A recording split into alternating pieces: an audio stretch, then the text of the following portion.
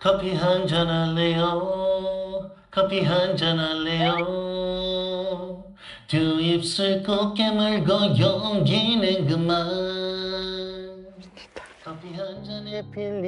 제 이름은 최준. 외로움에 사무쳐 이름마저 외자인 남자. 커피 외길 인생 35년. 커피에 죽고 커피에 사는 제가 수많은 청춘들의 발걸음이 오가는 성수동 골목에 조금 특별한 카페를 열기로 했어요. 철이 없었죠. 덜컥 카페를 차린다는 것 자체가. 솔직히 말하면 전 커피보다 우유를 좋아하지만요. I love you.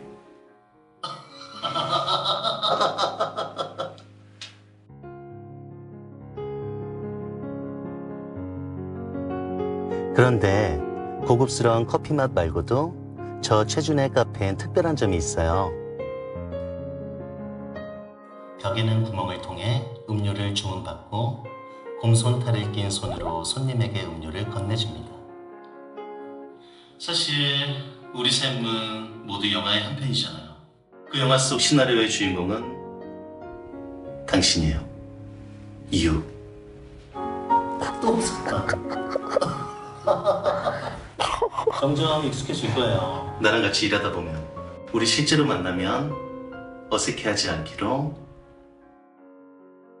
약속?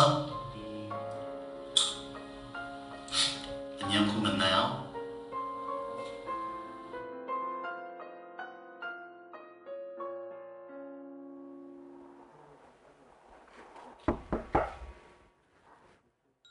까꿍.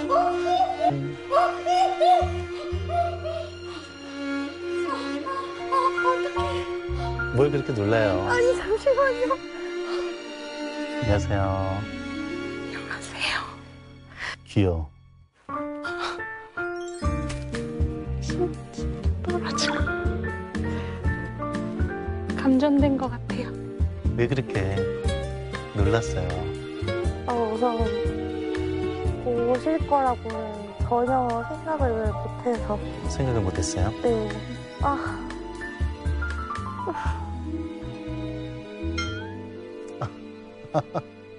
그건 뭐예요? 이렇게 나 보고 이렇게 하는 거? 항상 영상으로밖에 안 봤거든요. 아, 실제로 보니까 좀 어떤 느낌이에요? 너무 좋아요. 캐리어를 가지고 오셨어요. 네. 저는 저 아래 광주에서 올라왔어요. 광주에서 네. 올라왔어요? 못 타고? KTX 타고. KTX 타고 올라왔어요?